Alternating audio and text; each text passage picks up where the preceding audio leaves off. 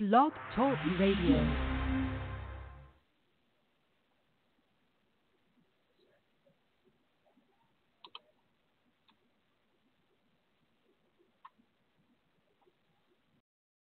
Alternative facts.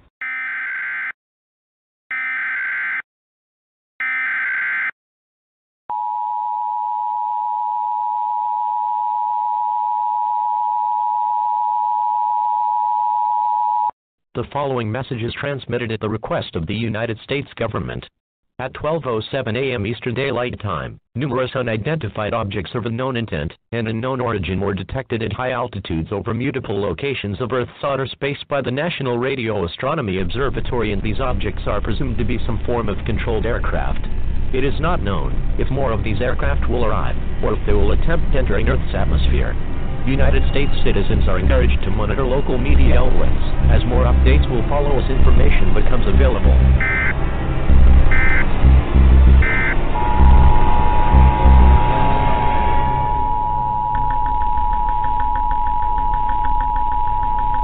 The following message is transmitted at the request of the United States government.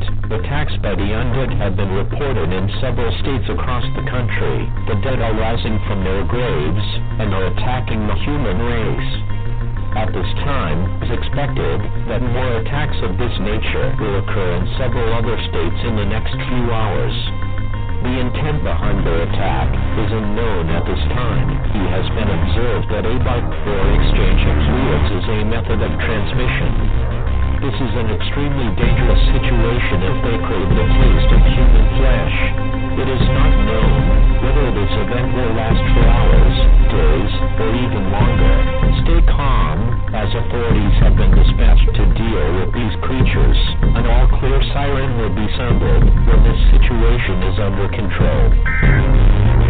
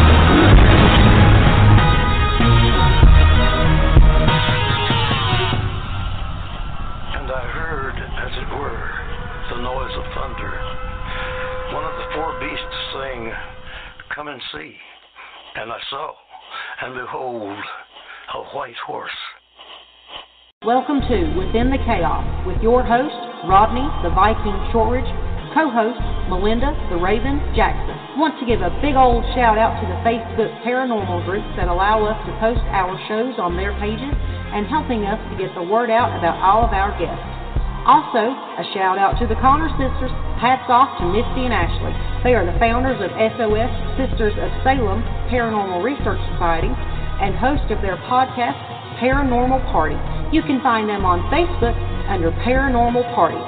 If anyone would like to speak to Black Diamond Paranormal Society, BDPS, to discuss your paranormal questions or issues, go to our website at blackdiamondps.org or email blackdiamondps at yahoo.com. As always, our services are free. Good evening, everyone, and thank you for joining us tonight. You can listen in by calling 516 387 1922, or you can go to the Vibe Radio Network website at blogtalkradio.com forward slash Vibe Radio Network. For deep within the heart of the Appalachian Mountains, I'd like to welcome everyone and thank you for listening to Within the Chaos. My name is Rodney Shortridge, and I'll be your host tonight, along with my beautiful Raven, Melinda Jackson. First off, I'd like to give a shout out to my cousins up in Ohio, Jennifer and Joe Shortridge of 222 Paranormal. If you get a chance, check out their talk show. You can find them on Facebook under 222 Paranormal. Have your devices just randomly stopped working? Are you having IT trouble? Not to worry, Mead's PC Repair Shop can help. We also offer IT support too, including website hosting. We are now also offering full event management services. To find out more, contact our friendly customer service team who will gladly help in any situation. Just call 276 880 8900 or if you prefer, you can stop by our shop at 1089 St. Clair Street, Oakwood, Virginia 24631 by appointment only or by visiting the website at meadspcshop.com for more information. Thank you. I love how he says, thank you. Boy, got some serious seriousness in that. Thank you. Well, tonight our special guest is Derek Sheen. Uh, Derek is a cuddly mess of insecurities. It sounds a lot like me. Hmm. So like, we're going to have a fun night. He's a gifted comedian, storyteller, actor, and writer.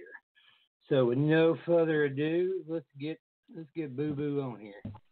Hello, Mr. Sheen. How you doing tonight? And thank you for coming on the show.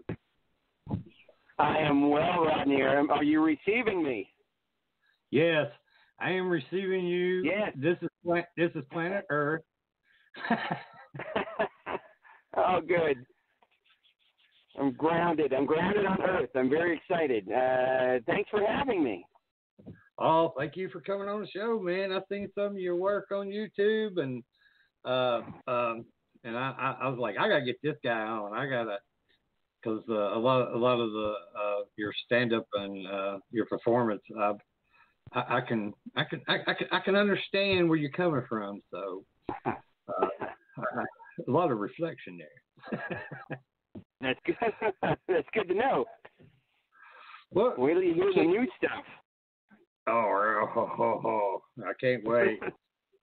so, can you tell everyone a little bit about yourself and you know what led you uh, on this road to become a, a comedian, writer, storyteller, actor, and a cuddly mess?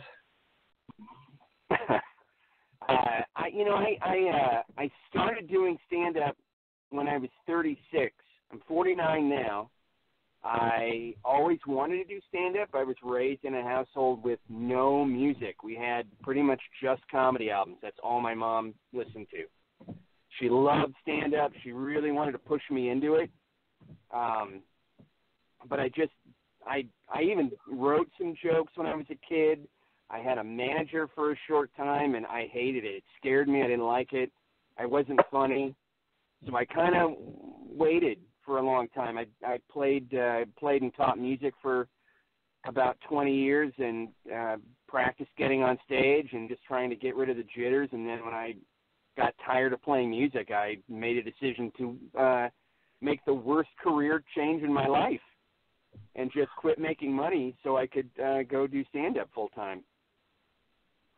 Well, I was going to ask been, uh, I was raised around it. I was getting ask how's it working out for you, but you talk about not making no money, so uh, you pimping on the side. loving, loving, love of the game. That's what I do. Everything goes right back into an airplane ticket. But I wouldn't Oh, change a thing. You know, the the worst night doing stand up is so much better for me than my best night loading drum gear into a van for twenty dollars. Like, yeah, stand up is just so much more fulfilling, and uh, uh, I love it. And I never, I'm I'm bad with the the money part, but it doesn't matter. I just have so much fun that that's that's all. Man, I have you know three really al- albums, good albums that I'm proud of, and the fourth one that we're working on, I'm really stoked about. So that's the the exciting thing for me is I I I it's allowed me to create, and I always wanted to do it, but I think the last 14 years, that that was the right time for me to get into it. Hmm Well, w- w- with um, other comedians out there in comics, what what separates you? What what makes you so? Uh, what makes your your uh, routine fun? Well, I think what sets me I, I I don't know what sets me apart. I think it's probably my voice. The way that I approach the material is really unique for me. I think I found a, a sort of unique way of, of of telling jokes or telling stories, and I have a knack for being able to um, to convey a lot of really creepy, dark stuff, but find a way to make it funny. And uh, I, I think if if anything, uh, uh, with me, you get uh, sort of in the moment, uh, honest, genuine, uh, but very very dark comedy, which I'm sure there are other people. There's a lot of comics out there that kind of do what I do, but we're all we all set ourselves apart by how far we're willing to to go out on a limb, and uh, I am I'm very good at pushing the envelope as far as I can, and I'm cute and dumb and lovable, so it's really hard for people to get mad at me. Aw. Well, do, do you, you just make it just kind of makes you want to just squeeze you when you describe yourself like it's like oh he's so cuddly. That's what people say about me. It's like I'm, all my life, you know, I'm a big old boy too, and I'm probably a lot bigger than you, but you know, you hear all these girls say, you know, he's handsome or he's gorgeous. I always get said, you know, they're, Rod, you're so you're so cuddly. You know, like, well, could you at least say I'm handsome? I mean, slide that in there. I mean, I I I prefer. Uh, I I've, you know I'm I'm I'm turning 50 this year, so I prefer no longer to be handsome. I prefer to um I prefer to be cuddly because uh, Oh. it, it, that means that I you know I I can't go anywhere from there. I can just stay that way now. Like I Oh. I, I much rather a handsome 50 year old is creepy, but you know uh, uh, a cuddly 50 year old that's the guy you want to hang out with. You know, and you feel safe, feel safe around him. And apparently, I've been looking at this all wrong. hmm Well, did, do you ever, you know, you said that uh, to shake the jitters out earlier. Do, do you still get nervous before you do a show or while you're doing a show? Absolutely. I still get nerves. Uh, it happens. I, I, I suffered from crippling stage fright, uh, which is why I started playing music. It was another reason why I was afraid to do stand up because I had so much uh, anxiety that I would have these crippling panic attacks. And so I started uh, getting on stage little by little with other people. I felt like it would be easier to. I literally just sat at home and learned to play an instrument so I would have a reason to get in a band and and get out on stage because I really wanted to be out there, but I felt like I needed to do baby steps, and so that was what got me back on stage. That and bananas. Boy, I can't tell you enough. Uh, the miracle, the miracle fruit, banana, potassium, is uh, amazing for uh, uh, pre-show uh, uh, jitters. Gets rid of them real quick. All my students eat a banana. I tell them all of them eat a banana before you go on stage. It's amazing. Never heard that. That's awesome. All the uh, potassium it takes your uh, body uh, your stomach a little a little more energy to break it down. So Uh-huh. it has a uh, i guess it has sort of a what are they i mean it's not an endorphin well i guess it is an, an endorphin uh, or serotonin blast. So it kind of calms you down. All your body's trying to break down this banana and it calms your nerves because it's very dense and heavy and uh it's also potassium is also a natural um depressant Hmm. Well, I've been doing it all wrong. I've been using alcohol. Huh. Who knew? So that works really well. But uh, I've never known anybody who's had a had too many bananas and then and then woken up in the bathtub of a Motel Six. So never happened. yeah, that, that that that that's true. It does make makes a big difference. Um, No one's ever gotten a BUI. no. I'm sure if they could find a way to make it illegal and make some money off of it, they So did you did you do a lot of uh, open mic nights when you were starting out, or? Uh, uh, oh man, I was out every night. Every night. I, I went out every single night. Like I would hit as many mics as I could. When I was starting out, I would go to uh, the two open mics at my local comedy club every Sunday and Monday, and then I would hit the indie kind of alt comedy mic on Tuesday, and then Wednesday was another club, and then Thursday was uh, open mic at the other club across town, and then Saturday, Friday, Saturday would just go to the club and watch comedy. I mean, I was I was out every night. It was a real it was a real shift in in um my my mood, my behavior. I was out all the time. You know, I was married too, so even when I played music, if I had a rehearsal, we rehearsed twice a week. But with comedy, I was out every single night, and uh, it was uh, it, it was. I mean, I, I still do it. I still I'm still uh, hitting mics every time I'm in town. I'll try to hit you know a, a Tuesday or Wednesday mic, uh, just so I can see new comics and and I also just kind of like that that smaller set and the pressure of having to perform in front of people who didn't pay to get in, so they have no investment. I like it. It it pushes you as a comic. I'll never stop doing it. I I, I love comedy so much that, that the fun part is performing for me. Uh, but I, I I I tell new comics, you got to be out every night, you know, and you have to be hitting every every opportunity for you to be on stage. Take it. Mm-hmm. Now you are from Seattle, Seattle, Washington, right? Correct. So I take it there's a lot of uh, comic clubs in your area. What would you tell someone like in my area in the middle of you know nowhere? Uh, say the comic club, the closest one to like I don't know five six hour drive. See that one's tough because if you're really far from a scene, you kind of have to build one yourself. You know, mm-hmm. you kind of have to start your own mic and and you have to try and get other people interested and you know and let them know that like hey you know we're going to try and make an open mic night for just comedy and we'll I, I guarantee you if you started an open mic for stand up you would find that there's other people around who are like oh I wish there was one. I'm going to do that. And then the mm-hmm. next thing you know you ha- you you know you've got five or six comedians or you know at least open mic open micers who are you know getting their foot in the water, and then you have people in town who are like, oh, there's comedy here Monday and Tuesday. We got to make sure we show up for it because it's entertaining, and otherwise, you know, it's a five-hour drive to the club. And the mm-hmm. next thing you know, you got an open mic on Thursday because someone started one at another bar, and then you got two mics and different audiences, and eventually you start building your own thing.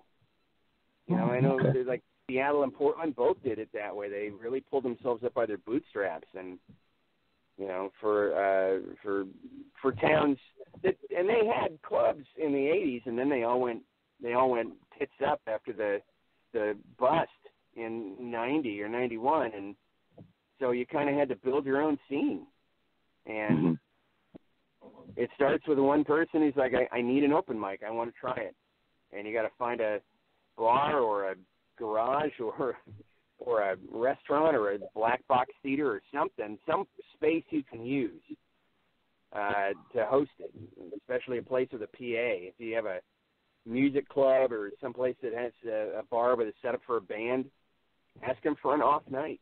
Hey, Monday night, can I try and do an open mic? And the next thing you know, you'll have like people coming out of the woodwork who want to, you know, want to talk into a microphone and and it will be terrible, but it's mm-hmm. it's how you build it, you know. Mm-hmm. Well, that's cool. But if it's five hours to the nearest club, that's hard. That's really hard. I think that's the only way to do it is to build it yourself. Uh, that's pretty much the way everything is around here. You got to build it yourself. Uh, uh, So, uh, what process do you use to develop your your, your stand up uh, uh, material? Oh man, I have a real weird uh, routine now. I used to write everything down, and I had a notebook that I carried with me, and I was constantly filling it out. And I'm I'm in a place now where I I have a weird process. I don't write anything down. Occasionally, I'll I'll take a bullet point uh, on my phone just so I have it a, a reference point. But now I'm very much about uh, trying to pull from my life experience and write about that and find the underbelly to all those experiences so that it's not just a story it's you know i have i have things i can add or subtract to it and make it and, and make it interesting um but a lot of it is just pulling those those nuggets out and then going out to an open mic and getting on stage for a few minutes and just seeing how it fits, where the language is, what do you know, where do I start, where do I be, you know, where do I end, and then just building. I, you know, sometimes it'll take me for a five or seven minute piece. It can take me a year, which is it's terrible. I know comics are way faster. They can get it. They can write a joke and have it tight within you know a few weeks. But I'm I really am a weird perfectionist on, on that stuff. I think I've gotten worse as I've gotten older. But mm-hmm. it, it sometimes takes me a year to get that seven minute chunk. But I'm also working on like nine other things at the same time. Mm-hmm. But it, it's a slow process. Uh, I have a lot of friends. I don't recommend what I do. I I don't write things down and I don't record my sets. I I don't record it until I feel comfortable with the joke, and then I record it to hear how it sounds once I've ironed out all the things I know you know are part of my my my my pattern.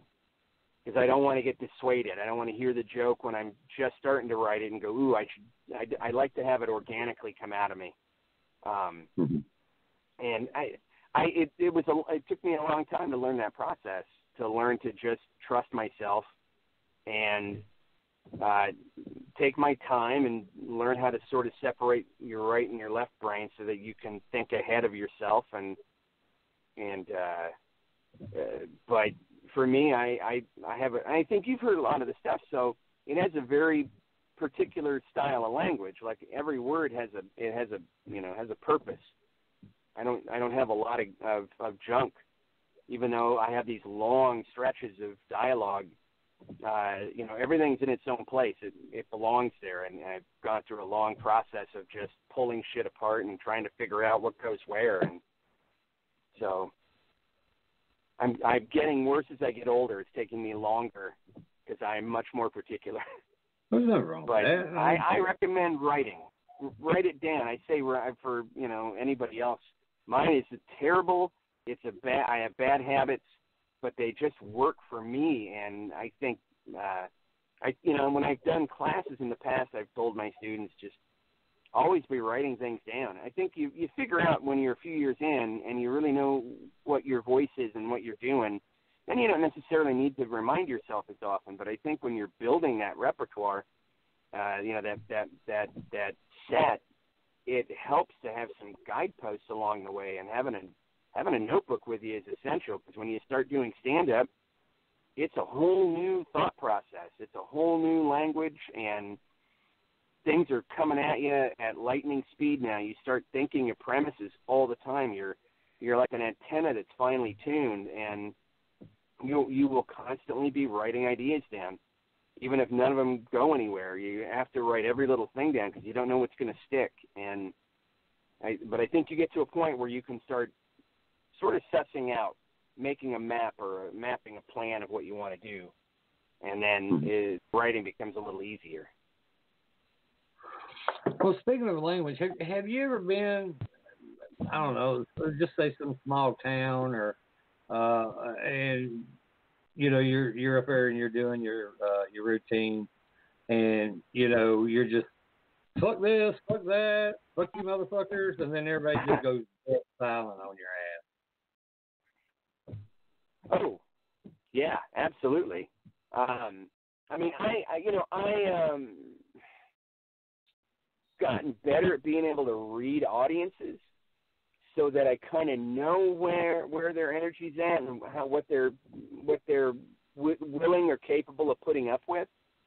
And uh, and I learned I, I I I get this question actually when I'm uh, a lot when I when I come back home or if I do stuff on the coast because I I travel a lot in the South and and the Southeast and the Upper Midwest, and I do a lot of political stuff and I make a lot of jokes and everybody's like, "Aren't you afraid to make those jokes out there?" And I'm like, "Well, no, because I test the audience to see you know what they're willing to take. Like I'm not jumping into a room and and beating them with a cudgel. If they're not into it, I'm just not gonna. You know, I have other jokes, but I also don't mind pulling that stuff out if I can trim it or you know fit it in in a way that everybody still kind of feels included, even if they don't agree with me.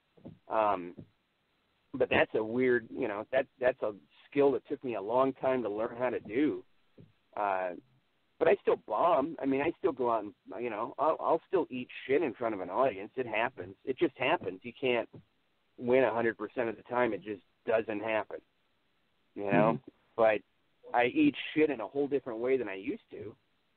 like when I used to eat shit, it was uh it was horrific. It was a plane crash. It was a tragedy. There was debris. And now when I eat shit, uh it's because I'm at the, you know, I'm at a uh, I, I'm at a Motel Six breakfast buffet, and it's nine in the morning and it's almost over, and there's nothing left but bagels and no cream cheese, and that's the closest to eating shit that I get now. You know, I won't get tons of laughs, but you fail differently. It's a different kind of failure. Mm-hmm. You have contingency plans the longer you've been in stand up, where you have an early warning system to let you know, uh oh, if I keep going in this direction, I'm going to lose everybody. And you you learn to avert and uh, you you refocus and you have an uh, you you take you get out the map in your head and try to figure out how to get from point A to point B without losing them. How, how long are you normally up on stage? It, it, does it depend on the uh, uh, uh, the venue? Um, it depends on yeah. Well, I think it more depends on the show. Like if I'm headlining, I'll be on stage for an hour or a little over an hour. Um, when I'm on the road with my friend Brian, I'm uh, 20, 20 to 30 minutes. You know, okay. five shows uh, a weekend.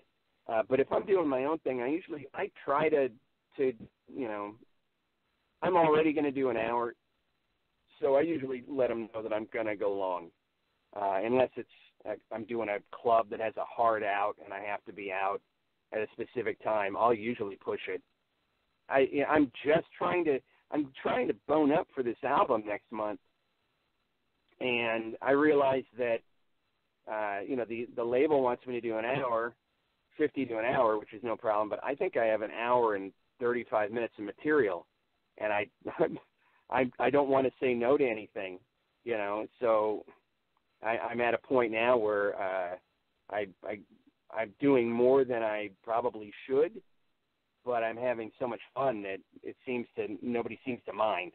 Uh, but I usually do an hour or over. Okay. Well, do you use uh, any of your childhood stories? You know, any type of embarrassing childhood stories? Because oh, I know I'm. I'm really I'm, big. I'm, I'm doing a lot of that stuff right now. I mean, I'm I'm talking a lot about this whole this whole set is kind of about turning 50 and and so there's a lot of reflection uh where I I do talk a lot about my past and I have a particular story about my dad that I've been telling that's been working really well and I'm I think this next hour that I'm already starting to look at and map it out. I have a lot more personal stuff in there, but I, I'm doing a lot more of it because I'm I'm learning how to mine from within. Uh, I used to have to figure out like I got to look at the news and I got to, you know, I got to be on the internet and look at stuff and see like if something pops out at me that I can write about. But I think I, I I'm I'm comfortable enough in my own skin now that I've been more. It's easier for me to tell real stories, and just find that the the awkward part of that story that nobody wants to hear and make that funny. And so a lot more of that stuff is coming. But yeah, my childhood stuff. I mean, uh, and and I'm working on a book, so some of that stuff I'm kind of saving for that. But I don't know when that book's ever going to get done. I'm I'm I'm I'm in and out of it, but there's a lot of childhood stuff. You know, my dad was in the mob, so I uh I have an awful lot of banana stories about that. Growing up with my, uh, not meeting my dad till I was 16, but kind of falling right into that trap of, you know, being my my dad's new son, who you know had no idea what a fucking crazy life my dad lived. Um, the it's a lot of that stuff's starting to come out in my stand-up, but we'll see. We'll see how far I go with it. That's awesome. Well, what's your opinion, you know, on the mental health of the U.S. and do you do you work that into your shows? I do. I actually, I do. I, I do dip my toe in it, but I, in a way that I think is probably it's probably the most me way to do it. Uh, but I've been talking about how how bad I am at political comedy because I'm a very emotional person, and so I don't have a metered response to things. I, which is why I don't do it. You know, I I just uh, I don't have a um, I don't have the that that sense of like clever dialogue where I can sort of drill down on an issue and and find all the uh, uh, sort of all the um, un, un, un, un, unspoken, unseen parts of it, and and make it into a clever, well-spoken, pointed bit. I'm terrible at that. I just get mad, and then I say something really shitty. And so I have I have a joke in my set now that we're it, it'll be on the album, but it kind of drives that home, and it's it's just it's just really mean and shitty and because uh, I'm bad at it. I mean, I, I have opinions. I can talk about politics when I'm off stage, but I'm not good at it on stage. I'm so bad, and I have way too many friends that are way too good at that that I would, I just would never try and, encroach on it because I'm, I'm so bad. I, and and I do talk about it on stage, but in a way where everyone's like, "Oh, Jesus Christ!" You know, they they just got a shock reaction to it. So, Damn. Uh, but we do. I mean, I I do it because I mean I do. I definitely try to. Uh, I definitely try to do that bit everywhere I'm at now, just because I love the reaction. It really does tend to. um For some people, it just is a huge like uh like a, a big relief laugh because of where I take them. And then for some people, it's kind of like a they just they're they're happy because they're like, oh my God, you're saying something that I agree with and I wish I could say out loud, but I can't. And so I get a little of of both of those, and it feels really good. And from you know from conservatives and from liberals, I get the same reaction. You know, and I I get conservatives that are like, oh man, f you. I'm pissed that I laughed at that bit. So that always makes me happy. Oh, it does me too, because you know I, I, where I live in Virginia, I'm in nothing but a sea of red. I call it the area of blood, and I'm the only blue dot of life floating around in it. And anytime I start, and I do, I like talk about politics. I do. I love talk shit to these people, and and they give me hell. And I mean, I've even got death threats over it. And I'm like, come on, people you know, it's just my fucking opinion. Calm down. Yeah. Everybody so what, chill out. You know, that, kind of goes to my next question. What you know, what's your opinion about you know Facebook and keyboard cowboys? Well, I mean, I got a lot of that. Uh, you know, during the election last uh, last time in 2016. I mean, holy cow! I anytime I would even make a joke, I I would get a, a mountain of negative responses from everywhere. I mean, I I got and I it ended up like at one point I and I posted about it on Facebook uh, uh, when it happened. But I mean, I even got death threats. Like I got phone calls from people calling me and telling me they were going to rape my wife while I watched, and you know, I had one guy who threatened to fly into town and uh, kill my family before he killed me. And I was like, what? Like, wait, I made a joke about Trump. Like, who? Like, who's a snowflake? Like, who's a snowflake? like, you know, you haven't even met the guy. I don't, you're gonna go fly. You're gonna fly. First, you're gonna pay like seven hundred bucks to fly all the way across the. It's seven hundred dollars. Like, just go do something nice for yourself. Mm-hmm. And then you got to spend the rest of your life in jail for murdering somebody over a what a shitty life that turns out to be. So I got a lot of that. I I I don't know. I um I I definitely consider myself uh, like as a comic. Sorry, and I keep saying like and um, which I, I hate, but I consider myself a comedian who likes to think before they speak. But I definitely do troll a lot of politicians on you know I'll drag people on Twitter and it is it is it's still trolling even when I if uh, even though I have I think I have comedic intent and and I and look at me I'm being satirical I'm still being a troll but but I'm not trying to stir up uh nastiness or or or make people feel unsafe I'm just poking fun at stuff and I think there's I think we're it's going to get worse this election season is going to be real bad. It's going to be even worse. If we thought that social media was shitty in 2016, it's going to be it's it's going to be it's going to be sink or swim. I'm I'm going to get to a point where I'm either going to have to be all my chips in, or I'm going to have to get out of it completely because I think it's going to get real ugly. I think we're on the cusp of a real big, like, it, it, I think people are going to get hurt. I think there's Mhm. going to be a lot of uh, violence, and I think that it's going to start online, and it's just going to keep escalating. Because it already, you know, it already started two years ago. It was already kind of getting uh, like that, and and the people have, just don't have control of their emotions anymore, and they're so angry and they're spun out, and they're so every day the news just all day from from bell to bell is just nothing but the world's on fire. Everyone is uh, white uh, white nationalism, uh, global climate change, fucking uh, uh, you know uh, starvation, flooding, uh, storms nobody was ready for, murder, assassination, uh, violence, uh, political violence. Uh, people are so spun out and so stressed out that I think a lot of folks are looking for an excuse without even knowing it to just go on their own personal purge.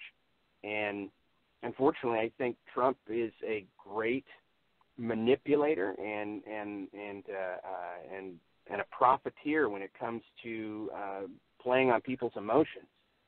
And I mean, even today on the plane, reading the the Mueller report and then uh, dipping into uh, the satellite TV on the plane, uh, listening to news, I'm like, holy shit! How is everybody not just losing their minds right now? Like this this guy's still going to fight and fight and fight. And when it comes time to campaign in a couple months, it's going to be ugly. I mean, I I I've already made a prediction that we're going to see people in the press get dragged out of the press box and beaten in public. Like it's going to mm-hmm. be like 1938 in Berlin. It's going to be public beatings by you know people who all start wearing the same kind of uniform too. They want to make sure that everyone knows they're a they're a follower and not a you know, phony. So wear something that makes you stand out. and that's Oh. how it always starts. You know, don't just Yeah. wear a, a MAGA hat. Wear something else too. Wear a nice vest that makes you stand out. Anybody can buy a hat, or you know, some kind of robe or a hood, something that just makes you stand out. Mm-hmm. And then Yeah, I, I I agree with you. What, how do you feel about it? Has anybody ever? I I see uh, you're interviewing, but uh, Mike, how do you? Where do you? Where do you land on? How are you feeling about this? I'm afraid that our Constitution has been trumped all over by Trump.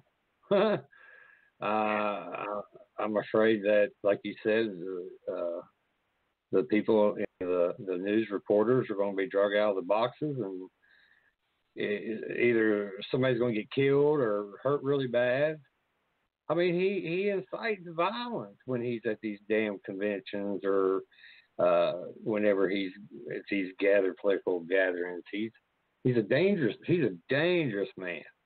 He knows Yeah. he knows how to push people to do things that they normally wouldn't do. And uh, you know, uh, in my area, I, dude, I'm just I'm screaming at, at a wall. These people around here, they, they've drunk the Kool Aid so much that, I mean, they turn into zombies. They're just zombie trumpers, and uh, Oh, it, yeah. it it scares me. It really does because I got you know I got five grandkids. I've got uh, you know, even a couple of my son, you know, my two sons, they they drank the Kool Aid too, and I'm like, oh my God, what is wrong? I did not teach you all this, and it, it, it worries me. It worries me because I mean, the man, okay, if he didn't collude, there's a whole lot of shit there that shows that he knew what the hell was going on, and uh, obstruction of justice. I mean, you know, Mueller's just like passed that ball over to Congress, and I think Nancy Pelosi and them are going to have to impeach his ass. Yeah, That's I think we're coming down to that. Yeah, I mean, there's no way getting around it. I know a few weeks ago she's like, "Well, we're not even going to talk about that," and I think it was she was going to wait till the report came out. Now the report's out, yeah, and I think it's also stupid that you know we have a sitting president or any president that's above the law. When the shit did that happen? He can't be Well, and indicted. when I mean, if there was ever any, if there, if if if anyone was lacking the evidence to convince themselves that he thought he was above the law, today having the attorney general get out ahead of the Mueller report an investigation where he is the number one target of that investigation, to have the attorney general come out and play defense attorney to the United States while the while the, the deputy director is standing next to him who was responsible for hiring Robert Mueller and not having Robert Mueller there. Like immediately I went, well, this is what defense attorneys do. They get out ahead uh, with their client and make statements like this and try to downplay it as quickly as possible. And this is our attorney general, the guy who's supposed to be.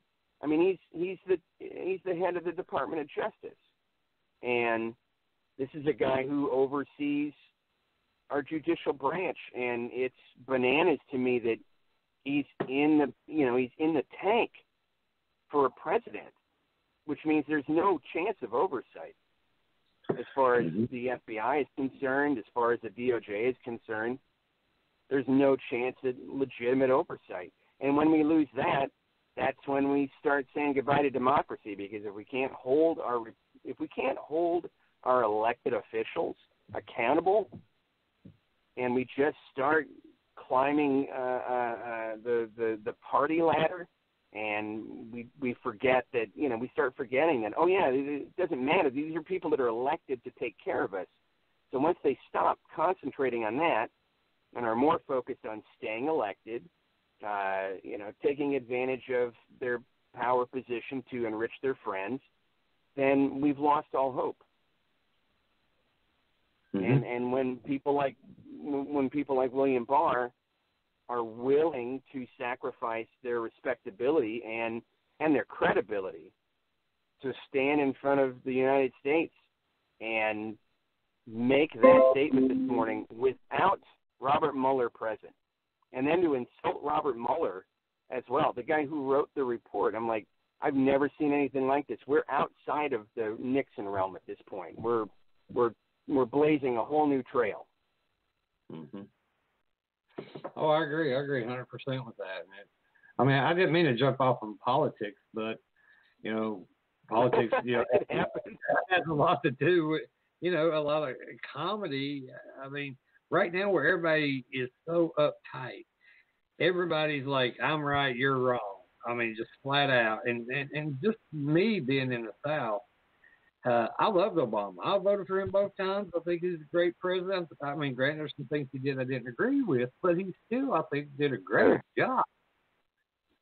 But people around here in my area, oh my God, they you'd think it was Satan himself that crawled out of the White House. And and I'm like, you're saying that Obama was this evil person, but yet you all you all will defend a pussy grabber? I'm like, come on. That makes Right. no sense. And you all are Christians. That's the, the this is the big part that bothers me around here. Is I live in the Bible Bible Belt, but yet all these Christians in my area support this some bitch. Even though it goes against everything that they hold dearly to the Bible.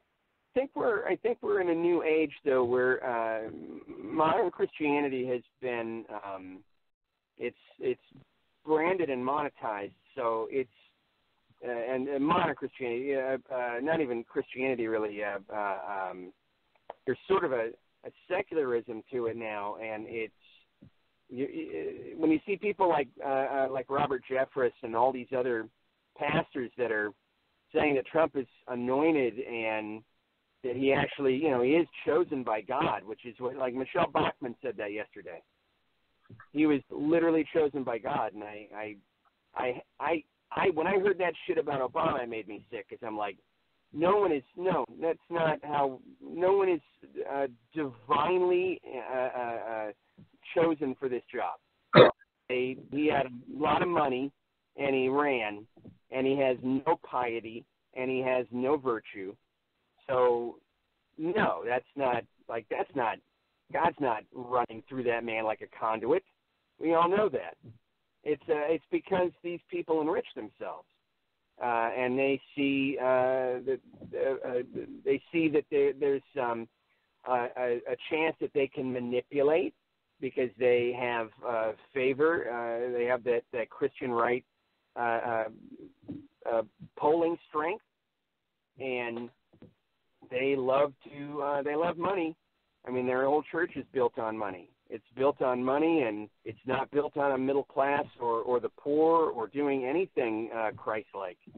It's the I mean, uh, I, maybe they're Old Testament Christians. Maybe that's the problem. Maybe they're Old Testament and pre-Christ, but they just don't have a name for what they do because Philistine, you know, sounds so horrible. So we don't like to use that word, but but it seems like they're old. They're reading only the Old Testament. They're not getting into the real, the actual Christ stuff and reading that, where Jesus is not the. Every time they they say something, I'm like, that's not a thing that Jesus said. He was a, a, a forgiving and loving hippie who had an anger problem because he was raging against the Ayn Randian uh, uh, railroad system of the Roman Empire. So, uh, say again how you don't want to help the poor.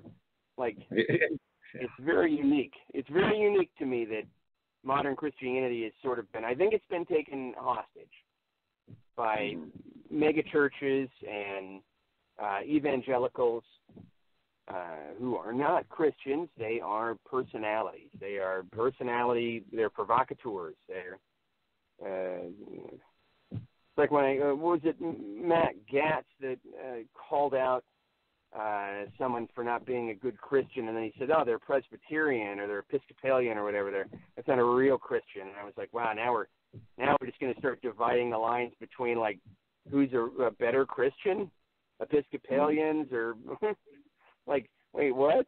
So it's it's it's unique. That's not what Christians do, right? That's not how we were raised to believe that. It's not how I was raised to believe that. You're a Um, good Christian, you don't you don't attack uh, uh, per another person who's a Christian because you think that their Christianity is not as good as your Christianity. That's the that's the most antichrist thing I've ever heard. Mhm. I agree.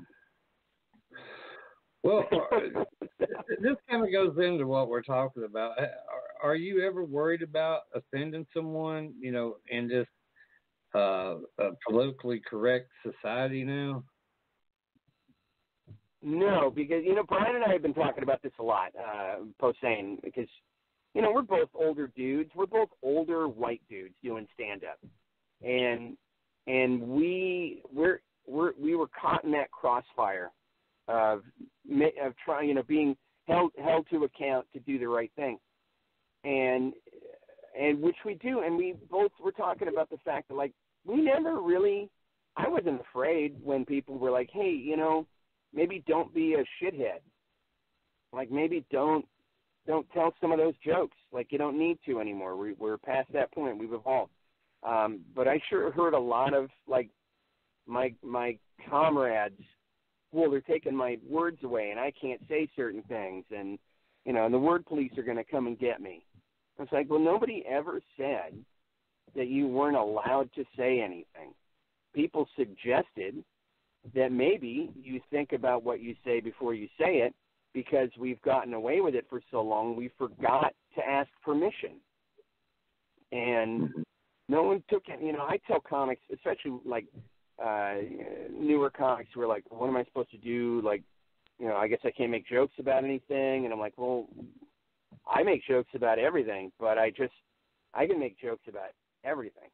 There's nothing off limits, but I have to know how to write that joke so that I'm not, I'm not, uh, you know, I'm not. The, the, the term is punching down, but there's got to be a better term for that.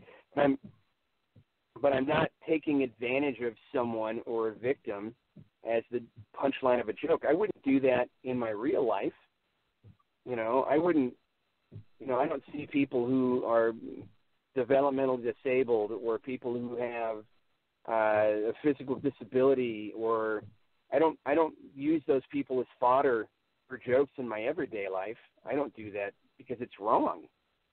And so I think if you're on stage and you're getting laughs for that stuff, sometimes you have to wonder if you're getting the right laughs or if you're telling the right jokes because if anybody gets offended, I'll listen. I'm more than willing to listen. Uh, but I, I'm also mindful of what I'm saying now. I'm, I'm just more consciously aware of it. The thing that Brian says that I love is um, there's always been rules. There's always been rules, but we just have to follow them now. That's the only difference between now and 10 years ago. Is people are just asking us to follow the rules. That's all. Mm-hmm. And and I think it's it's hard. Comics get real caught up on that. Like uh, some comics do, and I think it's because they just they don't want to write better jokes. I can be fucking dark. I can be super dark, and I can say some awful things, but but I can say them. Uh, I can, but I'm saying the right awful things. You know, I, I'm finding I'm finding a, a way to have some empathy and not not write about uh, uh, shit that I know is gonna like be painful for someone. But I can definitely talk about some horrific stuff. The shit I get away with, you know, I I think is just as offensive, but I'm not hurting anybody. No one's a victim in the joke. Uh, you know, I'm not I'm not pointing out a group, a marginalized group, and making fun of them. I don't I don't have any jokes about how shitty homeless people are because I'm like, ah, it sucks, you know. And it's a bummer. I can write better, darker stuff than that. Mm-hmm. And uh, so, I mean, it, but it's a challenge. I think it's a challenge for a comedian and a writer to elevate, elevate, and try to write at a higher level, so that uh, find that sweet spot where you can be, you can still be dark and gross, and and a little mean, but there doesn't have to be a victim. And and I think that's where comedy gets lost. I, you know, we've been Brian and I talk a lot about like just trying to remain inclusive. I'll make political jokes, but I make political jokes. If I if I do a joke about like you know the joke I was telling you about earlier, like if I do this hardcore joke about Trump, I also have you know on the last album I had 20 minutes on liberals telling me not to make jokes about cannibalism Mm-hmm. because I, I I I think it's more about just the audacity of uh, uh, of being offended and the entitlement that comes with being offended. But but I'm more worried if I offend somebody, I'm more worried because it means that I I might have neglected one of my own rules, and so. But there's also times I'll be honest, people just get offended because they're that's their reaction, and and that that stuff I don't give a shit about. Like if someone gets offended because I uh, I said something that was triggering only to them, uh, I, I, you know what? Uh, go see a therapist.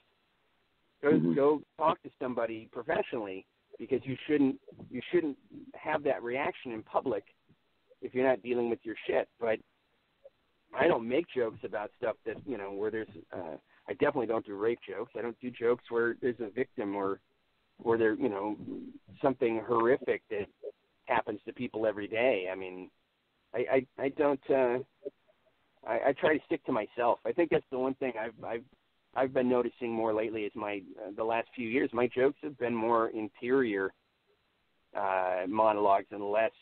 It's more of how I look at the world through my own filter, through my own experience, and I think that's what's changed things. Is I don't have to have a premise anymore. I don't have to talk about race, and I don't have to talk about uh, gender fluidity uh, through the uh, the the spectrum of a, a, a, a premise or a setup. I can just literally have that that conversation with an audience through my own my own experience and try to use that and find a way to shoehorn something in that I want to use or I want to talk about. Um, I do it with um, I do it with a bit. I think I, I, did I already do this bit? I um, I kind of have a habit of of of doing. I have a bit about millennials because uh, every male, older male comic has a bit about ah kids or oh these kids and blah. And I'm I'm uh, it's not an anti-millennial joke. I'm pro young person. Uh, and so I, I kind of go after my friends, and I'm like, you guys are all old guys, and you shit on young people, and you're just jealous, and making fun of avocado toast, which is just lame, and because uh, that's they're always the go-to. Oh, avocado toast and uh, participation trophies, and I make I make fun of my own generation, uh, but then I also make fun of young because I want to bring that in. I wanted to. I actually wanted to talk about like inclusivity in comedy, and I wanted to talk about um, uh, this sort of liberal, this more liberal idea of like this younger generation trying to fix things, trying to uh, uh, you know uh, tear down this sort of this gender binary system and, and allowing people to be who they want to be and bringing everybody in. And then I shit all over millennials at the end of it, anyways. So I found a way to bring my some of my politics into a bit, but I put them in like um I put them in like medicine, and, when you're trying to feed an animal medicine, you put it in a treat. Uh, so you get them laughing about stuff, and you throw things in little little bullets here and there uh, with your own personal politics, and and I feel like I write better that way than if I tried to come up with a premise. Because at least that's something I can talk about from my heart that's real, and I don't have to force a narrative. Uh, mm-hmm. And I think that's where people get track, especially when they're writing offensive material, is they start off thinking they have to write offensive material. So they just go full bore and they don't have any nuance. You can write a joke that is offensive, but it didn't start that way. It just it just is offensive. And that's the big difference between writing a clever a clever offensive joke and just being offensive. Um, you know, one one you have some some strategy, and the other one you're just kind of being an asshole. And so. Well, uh, I'm 49 too, so uh, uh, with my body breaks Oh, you know down. what this is about. yeah, I do. Yeah, I do. So, uh, do do you use your you know personal health as a uh, comedic talking point at, at you know any of your uh, shows? I mean, I do. I, I talk about my. Uh, I've talked quite a bit about my depression um, and my medication. Uh, I'm now talking about the fact that I, I'm off of it. Um, this new hour, a lot of it is about like kind of changing and getting older, but it's also about getting sober.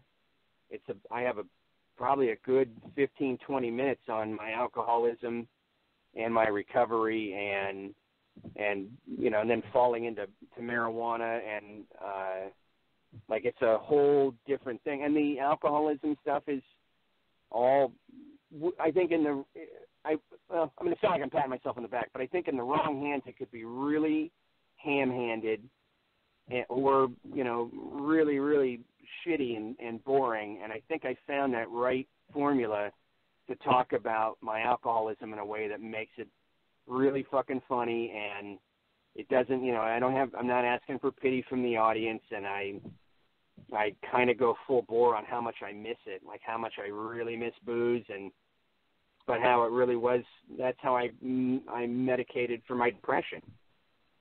And i think the last album or the one before that i talked about suicide my suit like my suicide.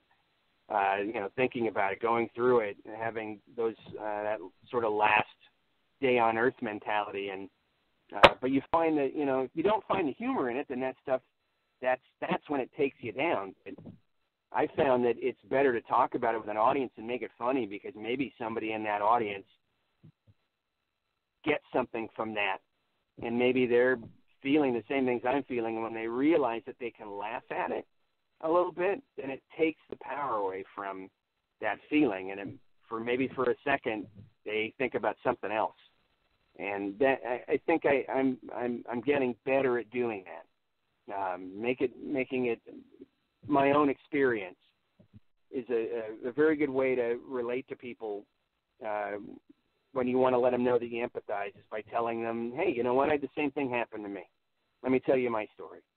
And it always, you know, when when that happens, it makes you feel it disarms you, it takes away your fear, and then you're like, oh, I'm not alone. Okay, what I'm feeling isn't unique or special. And I think when it can, for me, for comedy, uh, when I was able to laugh at things that scared me, when I had, when I could listen to a comedian break down something that I had a, a problem with, and I could relate to them, and at the same time go, oh shit, like they, I'm laughing at this thing that that bothered me or scared me, and now it's not so scary. It's like when you laugh at your, if you laughed at a high school bully, you know, it destroyed them. If you laughed at a guy who was constantly trying to pick on you and fight you, it would just ruin that person. And that's what fear is like. When you're able to make fun of it and laugh at it, it takes its power away. So I, I, I try to do that in my act quite a bit. I feel like since I'm suffering from it, I might as well benefit from my own suffering a little bit. Mm-hmm. Well, speaking of bullying, uh, when I was a kid, I was bullied, and I started making, you know, wise cracks at myself. I realized I was taking the power away from him, and I still do it today. When I see people who are going to come at me, uh, you know, start running her damn mouth, uh, I'll start cracking on myself, and then they're just standing there with that. Oh, I, I don't know how to react to this, and I'm like, that's right, because I took the power, bitch. that's it. I mean, that's that's the healthy way to look at it. You know, it's it's. uh I don't let my I don't let my I don't let my mind rent space in my head. as confusing yeah. as that sounds, I you know I realize that there's the conscious self and the and the unconscious self and uh and and they're two they I don't even think they communicate with each other. That's the problem. And so when I make a joke about some of these things I kind of feel like uh, that my unconscious mind is being talked to for the first time about it. And then they go oh shit okay well it jigs up. I guess I better start treating him better. And then next yeah. thing you know I start improving. And so. It's a really unique perspective but I find that you know comedy can be a tool. I mean, I you know I'm, my friend Hari Kondabolu, you know, he uses stand up uh, to heal, you know, like racial issues and identity issues, and he uses stand up for that. You know, he feels like if you can write a joke that takes the power away or the pain away from these issues, then that's very useful. And I feel like that about things that scare me. I feel like that about you know, joking about my mental health and joking about, you know, my abuse as a child and that stuff. Like, if I can, if I can find the silver lining in that stuff, then maybe I can help somebody else circumnavigate all those years of fucking therapy and drama and terror and just remember that if you just laugh at that, it it it's it really is great medicine for your soul it, but only if you're laughing at something that's bad for you.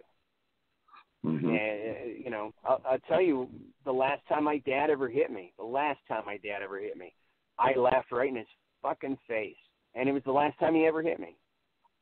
And I think it was a real, it was, I think it was a real metaphor for me. And when I got older and looked back on on that, to to go, wow, I didn't realize how much power that had. I didn't realize how much power that that you know the, the fear is um fear fear looks intimidating and and it's it's big and it's dark and it's fucking scary but it's really just a fucking it's a dwarf in a trench coat. And when you start laughing well i shouldn't say it's a, a dwarf's a real person so i should probably change that to any dwarves that are listening i'm real sorry. Uh send that email to Ari Shaffir. Um I, uh, I I feel like I feel like um, you know it's it's it's usually uh, it's people like my dad. You know that's what fear is. It's people that are really really broken on the inside. They they really don't have confidence, but they manipulate you uh, through uh, uh, fear. They manipulate you. They manipulate you through making you feel like you're worthless or have less value. And the minute that you show them that you don't need them for approval, then it breaks them in half. And you know, breaking that cycle for fear, humor is the best thing I've ever found. It's what my mom used. It's why we only had comedy albums growing up because she needed that. She had such a terrible upbringing. She found a lot of of um, a lot of healing and uh, and a lot of um, a lot of resolve in comedy, and and she was very uh, still open about that. She really really used it as medicine. And we always had laughter in the house. And I'll be honest, even with my dad being a piece of abusive shit that he was, she never ever would let that ruin her sense of humor. She would bust his balls all the time. And anytime that he, you know, near the end when he would start getting adamant about, you know, his masculinity and his, you know, machismo, she would just shut it down. She'd just laugh right in his face and it just ruined him. And all I could think is, wow, if you're that small of a person that you can't you can't even take a joke or, or have a sense of humor about any you're broken. You're dead inside. There's nothing left. Mm-hmm. And so I'd rather be on that side. I'd rather make fun of that stuff and take its power away.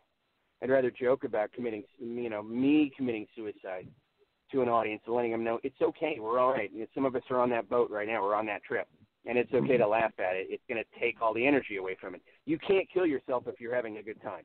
Nobody's ever Yeah. done that. Nobody's ever been like, "Wow, I'm having such a great time. I'll just kill myself now, so I don't have to compete with this great time I'm having." No one's ever done that. It's when you're not having fun. It's when things are really shitty, and sometimes I think you have to self-create those things. You have to put comedy in your life. You have to have laughter in your life to remind you that anybody, anything that anything that has power over you, it certainly doesn't when you find the faults in it, and you can laugh at it. Then it loses its power. Yeah, that's that's true. But I, I want to ask a question because, I, like I said, I watched a lot of your stuff on uh, YouTube. Uh, what's up with the clowns? I okay, so so the clown thing now that that story now is about eight minutes long, Mm-hmm. and there's more to it now. I'm probably when I release this album, I'm hoping that that bit gets some some play because in the in the two years that I've been working on it, I've now met five people who have murdered a clown Oh shit! legitimately murdered a clown. I just recently met a Navy SEAL, retired Navy SEAL, uh, uh, early retirement, deferred from 15 tours in Iraq and Afghanistan, uh, injury, PTSD. He's home now. He's uh, he went to come see a comedy show. Honestly, exactly for the reason we were just talking about, because he he's like, if I don't have laughter in my life, then I go insane. And I he's like, I don't I feel great when I'm around people and I'm laughing. It reminds me that life can be okay. So that's what he was doing. He was self medicating at a show that I was headlining. And after the show, he he's friends with the owner of the club. He goes, I got to talk to this guy. And so the owner was like, Hey, my buddy wants to tell you a story and uh, and get you high. And so uh, he told me about when he got back stateside. He's got this big compound. Uh, it's it's I mean it's a survival compound. He's got a fucking Gatling gun on the roof. It's a giant ranch. Uh, he's got an H1 uh, that he brought over from uh, overseas uh, that he decked out in uh, armor, and he's got bars on the window, and that's his family car.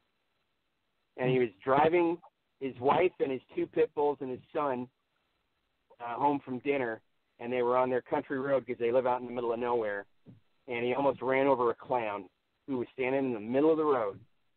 And when he got out of his car, he stopped the car about a hundred feet away from the clown, and got out and was like, "Hey, you got to get out of the road." And he wouldn't move, and he just started laughing at him. And so my buddy's like, my first reaction is like, I'm just gonna pull my piece and let him know that he he needs to get out of the road and or he needs to stand out of our out of our way. And the clown took a run at him, and he stopped, and then uh, he fired a warning shot. And he's like, "You come within ten feet of me or my truck, I will kill you. I have my wife and my kid in the car, my dogs. I'm not playing. I'm an you know I'm a I'm a sniper. I'm a U.S. Navy SEAL sniper. I'm a great shot. I can I'll I'll knock you down by by before ten feet." And so he goes to, he told me that the clown, the whole time, I forget to mention this, he had his arm behind his back, and he pulls his arm out, and he's got a machete. And then he just starts charging at the guy. And so he unloaded his entire clip into this clown's chest. And the cops came. His wife was already calling the police, and he said, you know, the cops came. I had to show him all my weapons. I had to show him everything I had in the truck, all my register, you know, all of my paperwork. Uh, he goes, they didn't keep us. It was self-defense. It was clearly self-defense, but they also uh, let me see the grouping because all the cops were like, "Holy shit! You shot this guy from like 60 feet with a handgun, and your grouping was super tight. It's all. It was so. Uh, uh, they were so impressed." Oh, wow. Uh, and the owner corroborated. He was like, "Yeah, it was in the paper and everything. He shot a clown to death." I mean, it's the fifth guy I've met who's murdered a clown. Although his story's kind of my favorite, but I don't know what it is with Clan. I mean, I, I that, but that's a, you know the thing that happened in New Jersey. That that's a true story. Uh, I mean, I you know I would say I've embellished a bit of uh, like I didn't see the clown get shot, but I was there when he got shot. I was Oh, man. right there. But there's some there's some embellishment. Uh, you know, it's, it's comedy. It's okay. It's not. I'm not. I'm not. Uh, I'm not writing a nonfiction novel, thankfully, so no one can get too mad at me. But but I love ribbon clowns. It's fun. I've met a I've I've met a fair share of, of angry clowns in the last couple of years. Uh I actually had a guy get real mad at me. Uh I did I did that bit in a bar that's it, that I already knew was owned by ex circus performers. Uh they were all alternative circus guys, uh, uh like the Jim Rose Circus Sideshow kind of thing. They were all sideshow performers. And they Mhm. bought a bar and they loved stand up and I knew what I was doing. I they they'd seen me. I came in, you know, and I knew I was going to close with the clown thing and I and I knew my audience. But I didn't realize that there was a guy in the audience, there was a, an actual clown uh who had an anger problem because right, it's a clown. Who which which what clown doesn't have a secret anger problem? And he got so mad he tried to flip a table. He grabbed his gigantic backpack walked right in front of the stage and gave me the finger and then told me to go rot in hell. And he split and I finished the bit. The whole audience was like, What is happening right now? And he left and after the show the owner and one of the bartenders came up and they were like, Oh my god, that clown thing is so goddamn funny and uh it's even funnier uh the guy that got mad at you, he's a dishwasher here and he's super pissed uh, that he has to work a day job to pay back his student loans from clown college. And I don't know what was in my mouth, but I know I spit it out laughing. Like I couldn't believe that you had to take student loans out for clown college. Like they should pay you to go to clown college. They should pay you to go to clown college. I didn't know that you could get. I didn't even know that any reputable bank. Like I got, I got, in a, I got turned down for an auto loan for a used car under five thousand dollars. Nick was like, nah. If I t- and I had a job and and a line of credit, and I got turned down for that loan. I can't even imagine how hard it must have been to convince a bank to part with their money when you said, "What I want to do with it is be a clown." and this is for a college for clowns. Any reputable bank would have been like, "Get the fuck out of here! Get out of here! You're not real. There's no such thing as a clown college. You're am I hallucinating?" They would laugh you out of a bank. Somehow, somebody managed to take out a college loan for fucking clown college. Like, any it, it, so America, we deserve it. That's our new slogan. That's what I'm just going to start saying. America, we deserve it. We deserve it. Yeah. Yeah, America, great. Yeah, we. America, we deserve it. That should be our new our new left wing slogan. Uh, yeah, I like it. so, so uh, who are your top ten favorite comedians and why? Oh man, uh,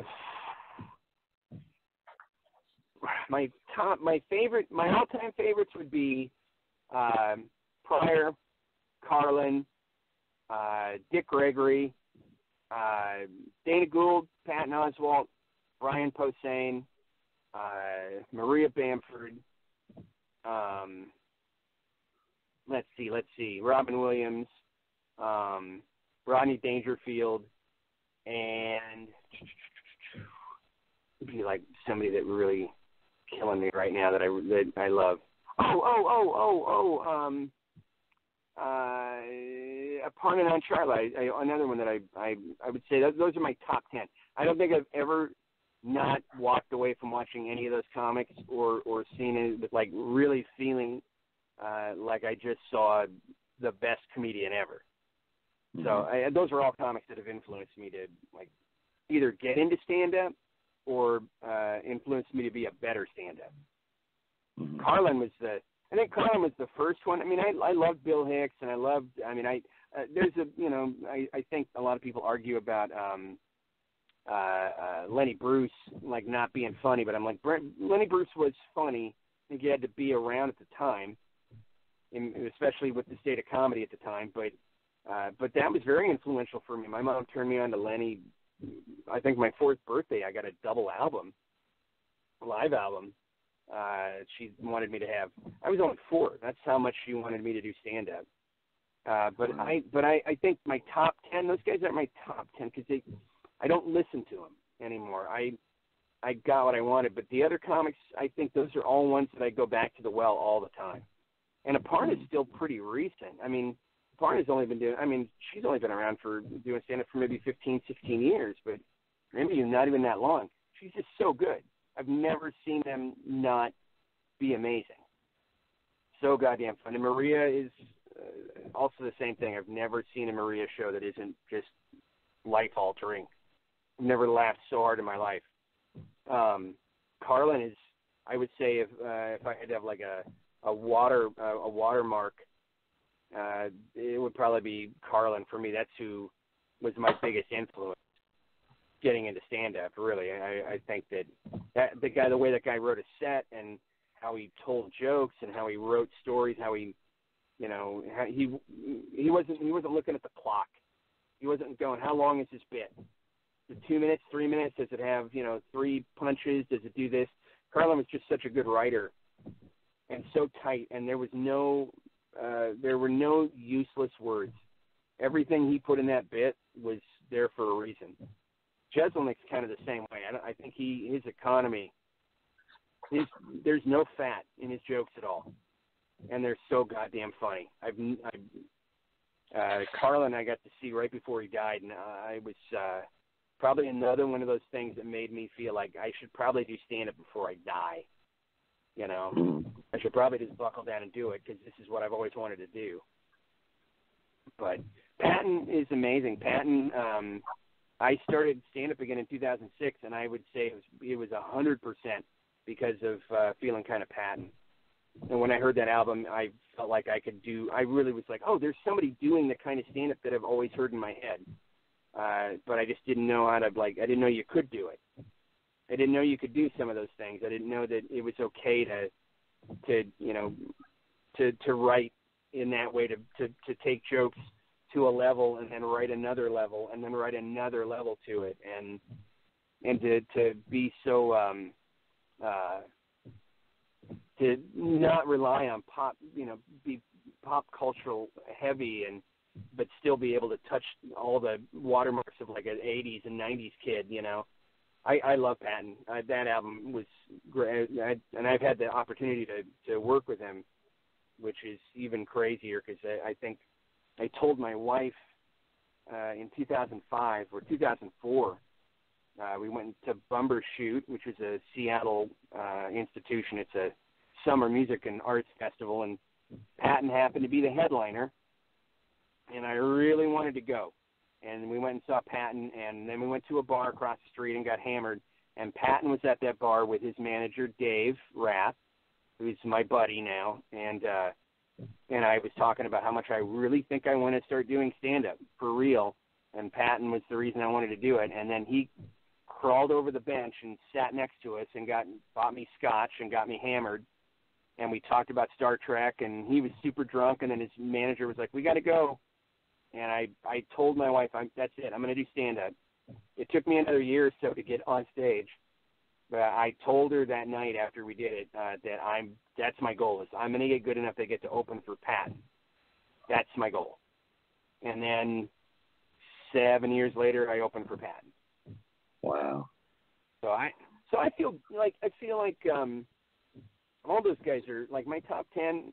Uh, it's all for the same reason. They made me want to do something. They pushed me to want to do something that I really love, and I still get replay out of it. You know, I still Brian. I mean, holy shit, Brian's the reason I started wearing metal shirts again and wasn't afraid to talk about comic books uh, to my friends because I was like, that's right. Like, I don't have to be afraid to be a, a dork.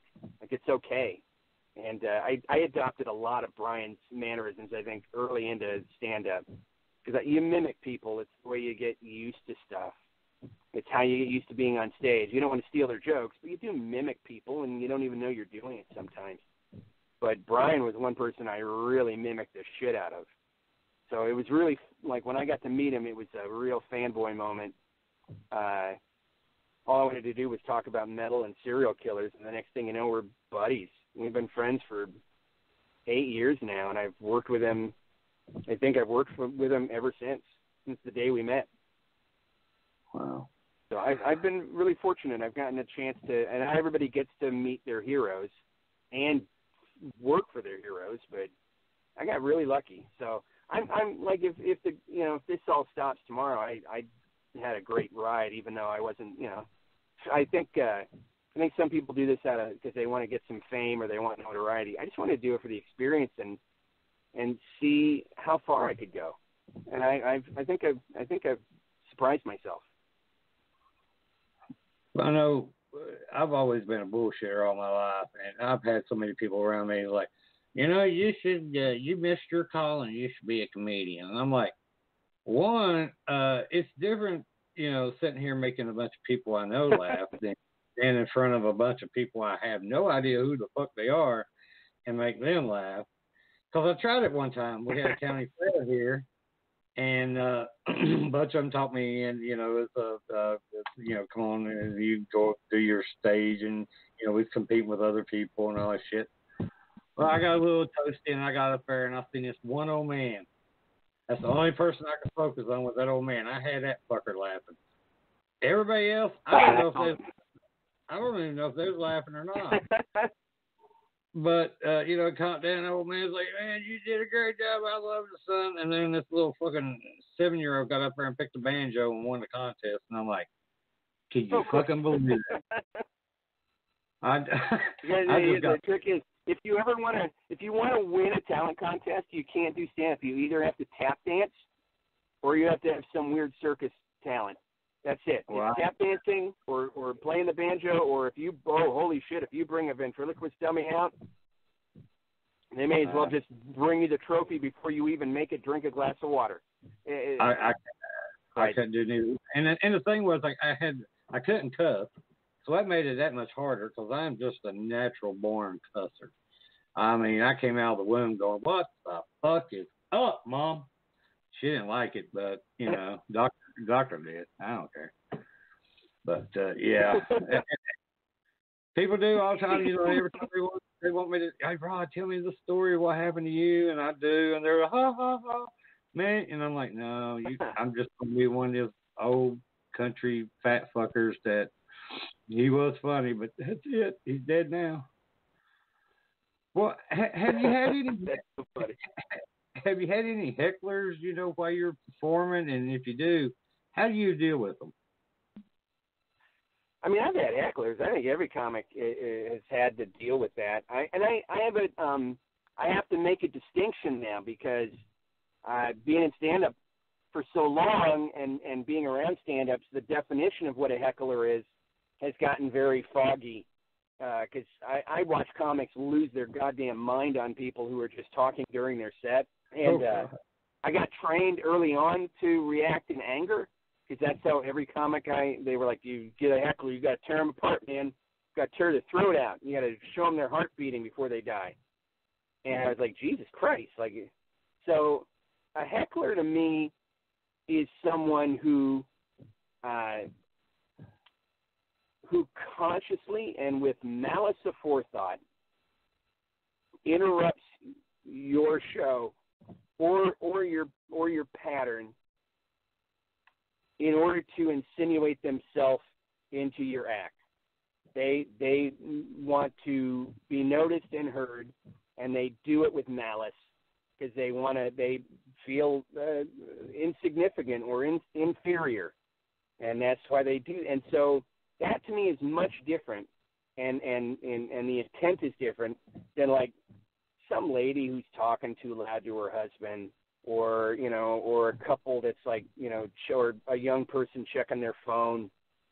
Like there's just people who are bad at being in public and I don't yell at those people. Like I I never get mad any I I used to do that. It was a real ha- bad habit that I learned from other comics and then I I realized it bummed everybody out.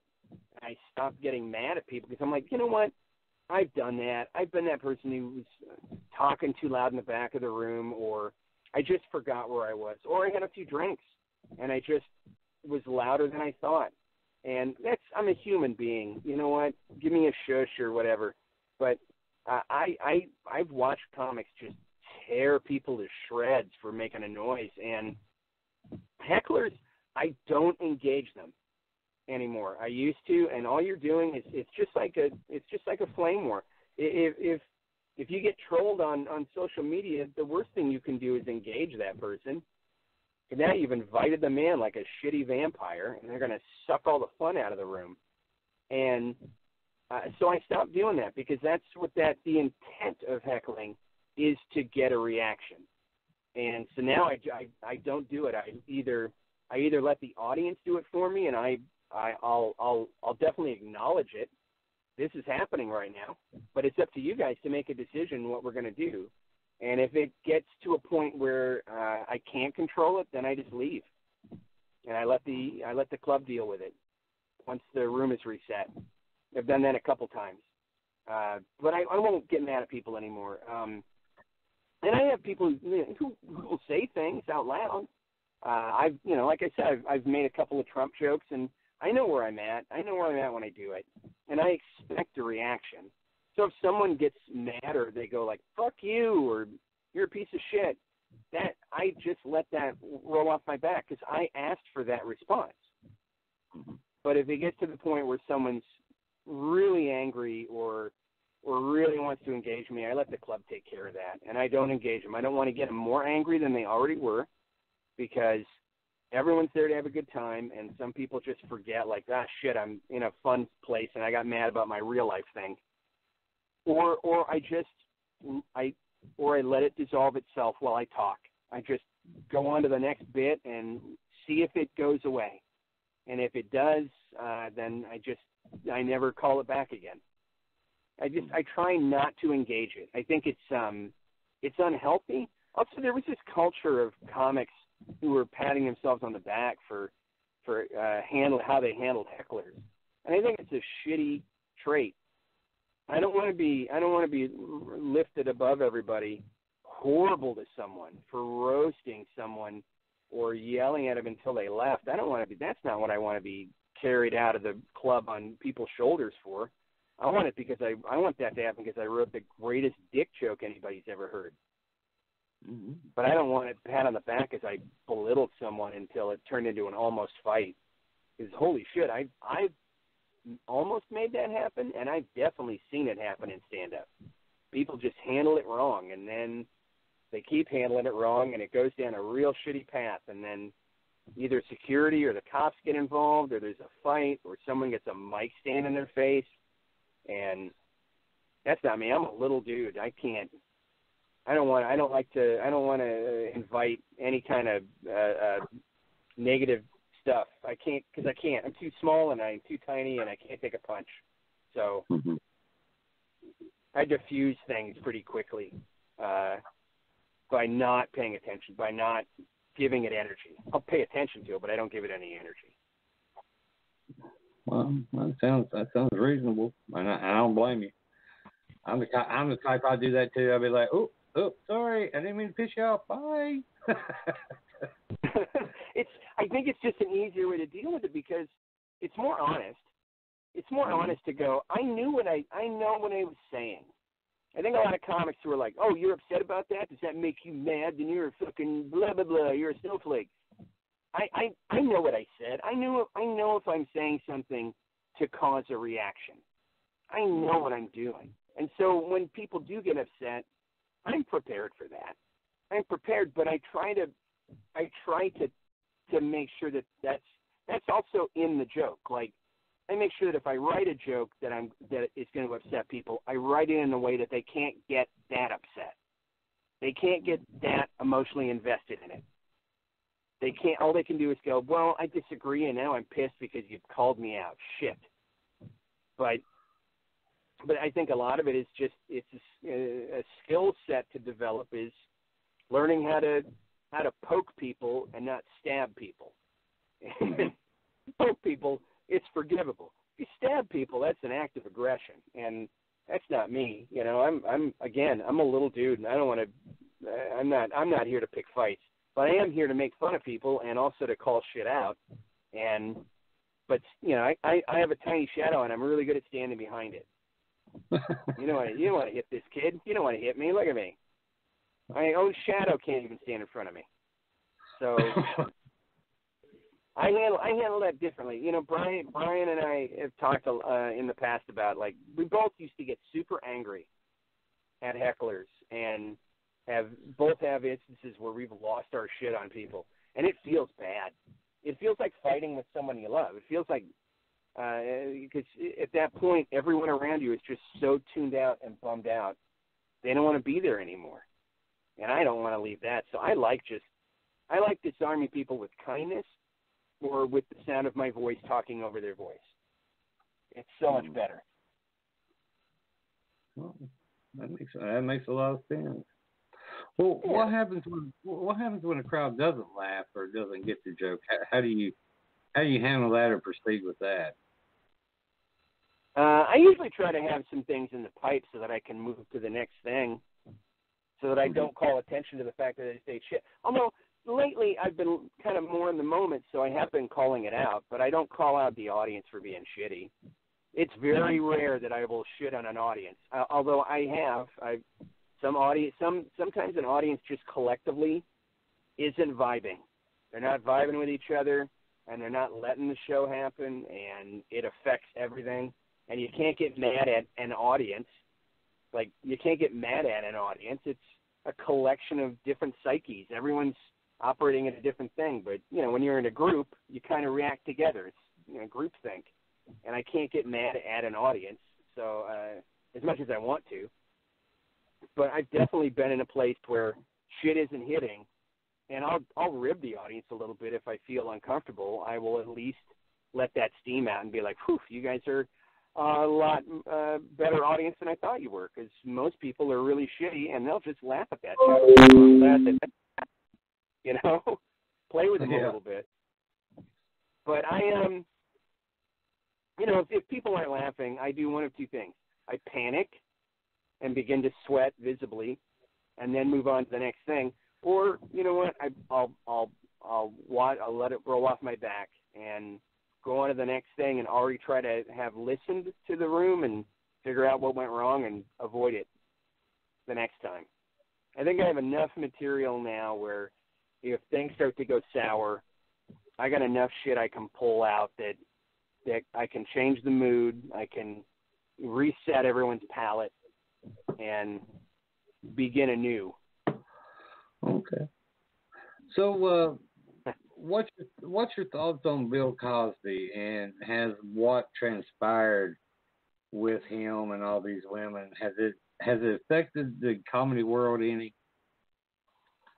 Well, again, I think that if anything, it it made it it actually was a great thing for comedy because it told it allowed people to know at this point now we are now calling shit out.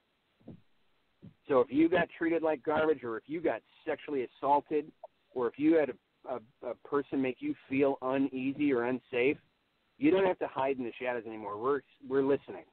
And it was a fight, it's still a fight, but if anything, it was the progenitor of the Me Too movement and I, I think that was very healthy for comedy because in any in any art in any arts community, uh, for some reason I don't know what it is, but I mean when I say arts community, I mean you know dance, painting, uh, uh music, uh, uh, comedy, uh, improv, anything.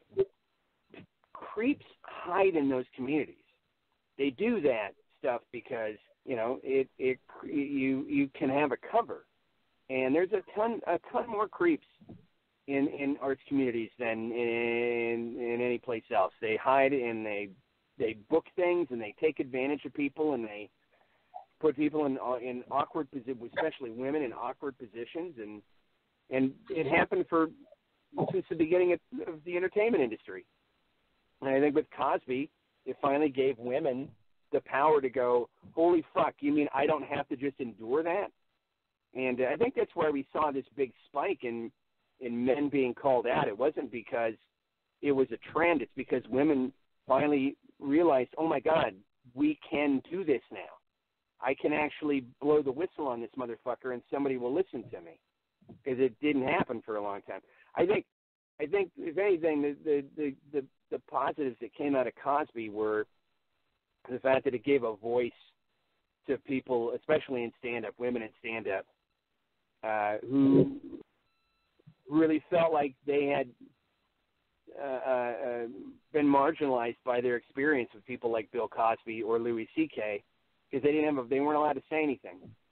And Hannibal, thank God for Hannibal Buress for being, you know, uh, there was a guy that had those women's safety in mind and called it out and brought it back to the public uh, uh, the public's attention. But I, I, I think if anything, the, the, the it, I think it made us it made us a little bit more aware of what to look out for, and also reminds us that we're a really small community, and we got to take care of each other, and we got to not make people feel unsafe. And uh, the other thing that it did is it made everybody start talking about how to separate the art from the artist, and is that even possible? Is it even mm-hmm. possible to separate? I can't listen to Cosby anymore. I can't because it just that is. I feel like I'm. I, I'm not. I, there's an undertone now to every one of those bits where everything he says just stinks a little bit it doesn't feel genuine anymore because you realize that oh yeah you were a fucking evil person holy shit so it's really hard it's my wife my wife is a huge michael jackson fan she can't she can't get near it when it comes on the radio she's like gag i can't do it because all i think about now is all those people he probably hurt and it doesn't it just can't listen to the music because now you hear all the you know, you, you hear the, the telegraphing of the behavior, even if it's not there. And comedy, man, if it's a shitty comic, if it was a great comic like Cosby, it makes it real hard to go back and listen to those bits because it now makes you wonder where did that come, where did that come from? You know, how can someone who writes something so pure also be doing something so horrible? So, I, you know, it, it it's hard. It's uh, uh it, it makes a lot of um it, it rocked the comedy community. Still, still has, especially with the CK thing, uh, which is another, I think, another branch of the Cosby allegations was the fact that Louis got finally got his comeuppance, and it, I think, it made comics, uh, male comics, all freaked out. Oh, can I even uh, look at girls anymore? Can I even, you know, talk to women? And it's like, well, yeah. Nobody said you couldn't do that. Just don't be a fucking weirdo.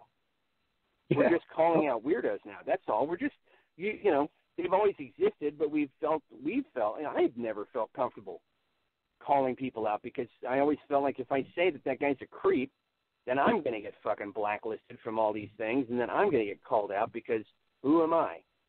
So you know, yeah, there's a there, it's complacency, and now we've realized we don't have to we don't have to hide in that complacency. It's okay to say shit, and it's okay to oust people, and it's all right to cancel people out of the fucking scene. It's all right to go. You know what? What you said or what you did was so awful. No, you don't get to just do this anymore. The rest of us work and bust our ass and and suffer and sacrifice to get somewhere and we also treat everyone with respect. And that's that goes without saying. And so i don't think you get to succeed in comedy anymore if uh if you do some of the work and are also a piece of shit. I think that you don't get to do this anymore. This is supposed to be fun and and and weirdly kind of for everybody. And uh i don't i i don't know. I think if the cosby thing taught me anything it's that i i the landscape is changing in favor uh, of transparency, and that's okay with me uh, because I, boy, there's nothing worse than than knowing that uh, that there's these there are great female comics who quit stand up because they met someone like Cosby or they got sexually assaulted or someone like Louis whipped his dick out, and then I don't get to hear their jokes anymore because they either fucking quit or they killed themselves and that bums me out. You know, that just really, really bothers me when I stop and think about all the amazing women who and and the the amazing jokes I probably could have heard if they would have, wouldn't have been uh, uh, forced out of of the of their of their art by people like that. Bums me out. I agree. I agree. Well, do you have any uh, superstitions or rituals that uh, you uh, deal with before a show? No, no. In fact, I I, I don't I, I don't do anything because I, I think you get in your own head, and if you get in your own head, then you put pressure on yourself, and the minute you do that, it makes it hard for you to relax. And I think the key to to to making what we do seem natural is to trust ourselves and uh, I don't, I don't. I knew, I knew, I used to know a guy that would shadow box before every show. He'd have to go in a corner in the green room and just furiously shadow box. And I was like, why do you do that? And he's like, I got to get pumped up for the show. And I'm like, I guess it's a ritual. You have to do what you do. I, I don't do that because I, I, maybe that's my ritual. Jesus, maybe not having a ritual is my ritual. All right, well, fuck me. I guess I do have a ritual. Just not having a ritual. Shit. See okay, how, I just realized that. Wow. That, worked out great, then, didn't it? yeah. Holy shit! What a what a catharsis. well, I, I know in one of your uh, videos I watched, you, you talked about that uh, you were a big horror fan. Uh, yeah. Which which which horror movie do you uh, or movies do you find that uh, really comical. I mean, I know it's terrifying, but you're sitting there going, "Ain't no way." I watch. I'll be honest with you. I watch horror for the fun. I I I, I don't like. I'm not a big fan of slasher movies. I'm not a big fan of. Uh, uh, I love gross out, grand guignol, you know, uh, over the top violence, comical. But I also love like dark, quiet, brooding uh, uh, stories of personal terror and horror, but but I don't get I don't get I don't I never really got the like the brutalizing just brutalizing. Yeah, look at all the amazing kills, but unless it's in something that like like Brain Dead, like Peter Jackson's you know uh, uh, Brain Dead or something, but like I uh, I I always tried to find horror that was so ridiculously gory that it was funny, and I I'll be honest, I think that's really a metaphor for for my stand up. I'm sure that that's kind of where I got that idea is just the horror that I was brought up on, the movies I was brought up on were so over the top, but that but it was also like funny. I never got scared. I was never scared of that stuff.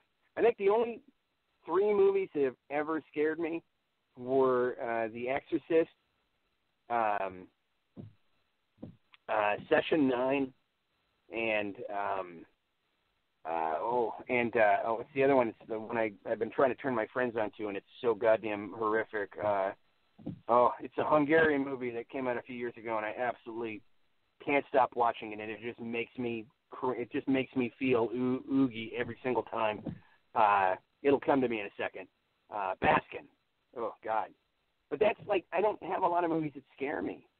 Uh, I think it's hard for horror to be scary anymore. I think it's become a uh, the the branding has changed where uh, I I I I really uh, I loved uh, Ghost Story. I don't know if uh, if you had or Ghost Stories. It came out a couple of years ago. Uh, was the I think the last horror movie that I saw that I've wa- had to watch multiple times because it was so well done. Because it reminded me of like the '70s Hammer uh, anthology movies, you know, Tales from the Crypt, and they oh, it was so good. But it I think I watch horror for the for the laughs. I think that's the, uh, hopefully you know a good horror movie is supposed to be kind of like a thrill ride. It's supposed to get your adrenaline up, and it's supposed to at the end, you know, the the desired effect is to sort of make you feel glad when you leave the theater, like whew, you know, I'm relieved, tension release. That was a you know, it's like eating a hot pepper. You have this endorphin rush. Your body makes this amazing chemical that sort of gets you all high afterwards, and you know you were scared and you were uh, uh, uh, you were sweating, but now you feel good. And I, I think that's what I always got out of horror, uh, less than the um, like the the titillation and the over the top stuff. I mean, the Evil Dead movies funny uh, for me. Even now, The Exorcist, I, I love it because there's humor in that movie I never I never noticed. Mm-hmm. There's tons of legitimate humor. I realized what a great writer Blatty was. It took me years to get back into that movie and watch it and go, oh my god, there's so many goddamn jokes in here. It's a really fun, smart detective movie, and I was scared because uh, well, I was probably scared because I was raised Catholic. But now that I'm older, I'm like, oh, this is a it's a detective movie. It's great. It's a noir thriller, but uh, Demon is the bad guy, and uh, I, I get that. I had this conversation the other night, by the way, and I don't recommend anybody uh, um, uh, submit themselves to a Serbian film, but I was uh, trying to uh, uh, I was trying to preach the merits of that movie as to me as a over the top black comedy because I've wa- I've watched it. I'll never watch it again, but I watched it and I laughed at stuff because I I got it. And when yeah, you know, I was raised on that kind of stuff. I was raised on that over the top horror where it's it's satire. It's a really black satire. It's a pitch black, uh, bottom of a mine shaft uh, uh, comedy. But oh man, the the resistance I got from people, and I understand it. But I, to me, like I think horror and comedy can be very similar, and maybe that's where my mental illness rests. Is I see those things as, uh, uh, you know, that I think that maybe that's how I I cope with things. Is I I make fun of horror and I make fun of ter- terrifying things and and shitty things. Again, because it takes their power away. And I, a Serbian film, I loved it because I went, oh my god, it's so awful, but it's awful for like for a reason. It's it there the satire's there, but you have to look for it. I love shit like that, but it's not a popular opinion. I'll I'll tell you that much. Oh, I agree with you. I mean, and also, and you don't have to watch it. Don't watch a Serbian film if you guys don't. Uh, but I think it's banned in the U.S. now, so I don't think you can watch it. But I mean, uh, I illegally uh, ripped it. But oh my God, that's all I needed was one time, and I went, I went, yeah. I recommended it to Anthony Jeselnik, and when he was like, well, I was kind of thinking about watching. I was like, I had a chance. I don't know Anthony Jeselnik, but I was in a green room with him, and uh, he was talking about horror movies, and he had asked me, "Have you like Have you heard of this Serbian film?" And I was like, "Oh my God, I've seen it." And I gave him my capsule review, and he was like, "I'm gonna watch it."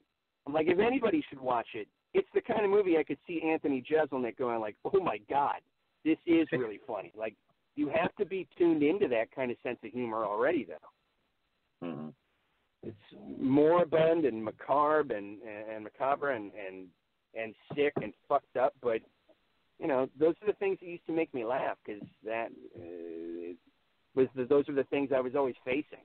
I love stuff like I yeah, big horror movie fan, but I'm I'm, I'm becoming more particular about about the kind of horror that I put in my head though, because I it's got to be well done now. I loved Hereditary. I thought that was amazing. And I, I'm looking forward to um, uh, the the new one from from that director that's coming out Midsommar. Uh, is the name of it, and it looks like it's going to be even better. Like I, I get so excited even at 50 about new horror movies. I uh, you, you, I could talk for another two hours about that stuff, but well, there'll there'll have to be another show.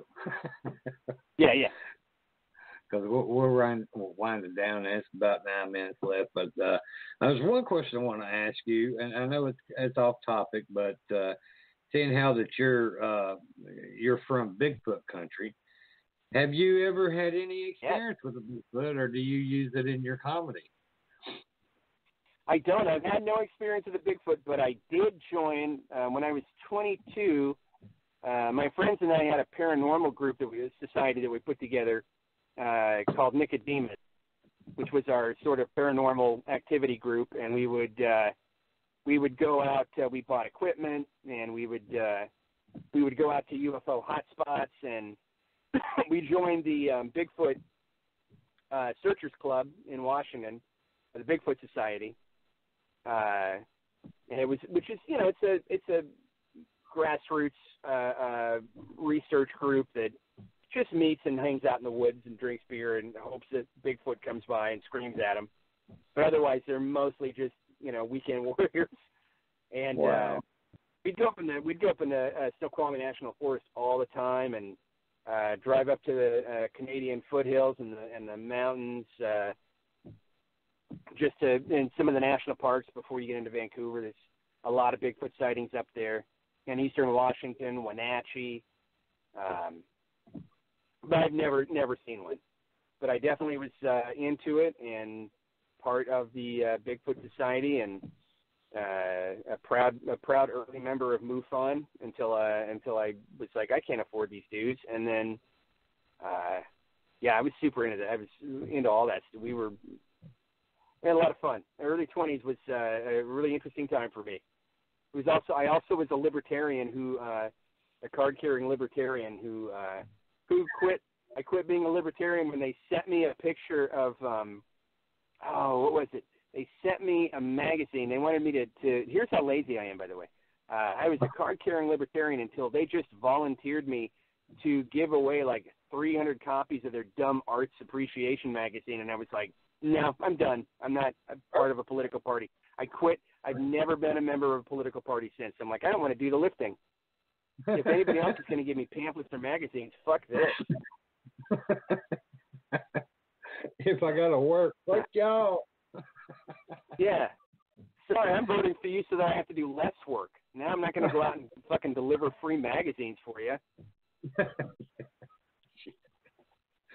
But, but yeah, we were yeah, my early twenties. I was into all that shit. We went to haunted houses. We went to uh we went to purported haunted houses, and and uh we would and not just like famous ones. Like people would actually call us and and ask us to come and do research on their home because they thought they might have a a poltergeist or a spirit. I mean, I've seen some weird shit then, but I just have I've never seen a Bigfoot. Seen a UFO, never seen a Bigfoot.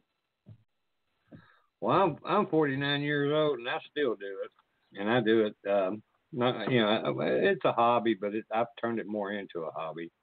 But I had a Bigfoot experience here in Virginia when I was in my early 20s, and I tell you what, it's a terrifying experience when you walk around a corner and you see it's like eight foot tall, hairy female.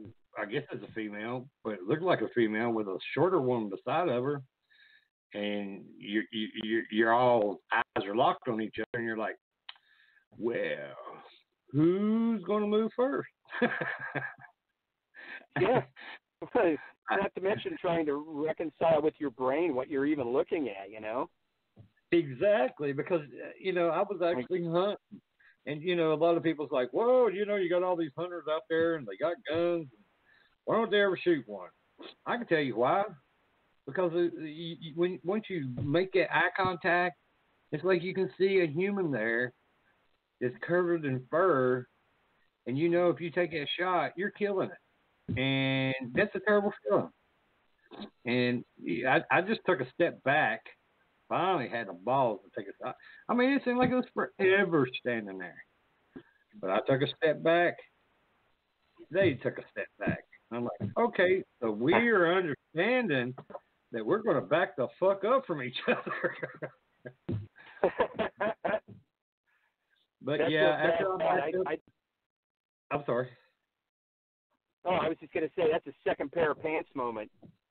Oh, you got that right. You got that right. Now, after I backed up all the way back around the corner where I couldn't see them no more, I heard them go down a hill, and I, I was just like, you know, breathing real heavy, and then I started laughing like, ha ha ha. ah.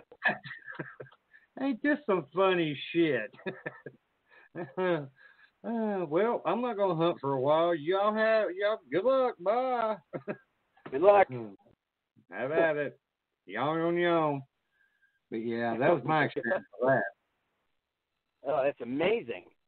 It, it, it is amazing, but I tell you, when I even when I talk about it, I get them goose pimples because it's, you know your hair raises up because you're like, oh god, what the fuck am I gonna do? Yeah, well, what, how do you, you know, how do you reconcile it to even? I mean, it's a cryptozoological uh, uh, uh, miracle.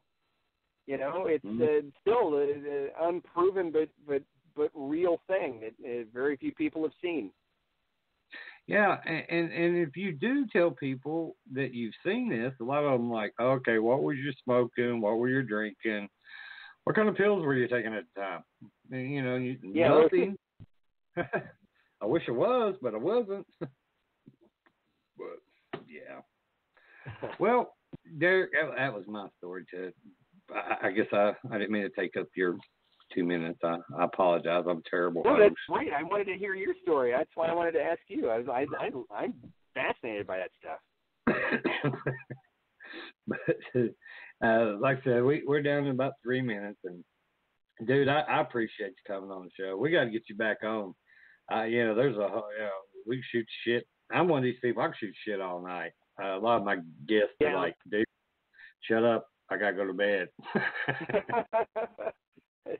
I mean, it's uh, uh, you know, it's perfect timing because I'm on the East Coast right now too, so the time lined up.